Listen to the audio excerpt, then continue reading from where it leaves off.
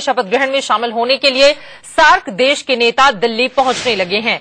अब से कुछ ही देर पहले भूटान के प्रधानमंत्री तेस्ट्रिंग टोकबे दिल्ली पहुँचे। वहीं बांग्लादेश संसद की स्पीकर शिरीन शर्मिन भी दिल्ली पहुँच चुकी हैं। भूटान के प्रधानमंत्री चार दिनों की यात्रा पर पहुँचे हैं। कल शपथ के बाद मंगलवार को उनकी मुलाकात मोदी और सार्क देश के अन्य नेताओं से होगी।